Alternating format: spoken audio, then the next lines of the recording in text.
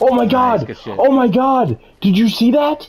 I did. Oh my the god! We the guy we were shooting at. I just headshotted him, bro. He jumped up into the air and it and it hit him in the fucking head.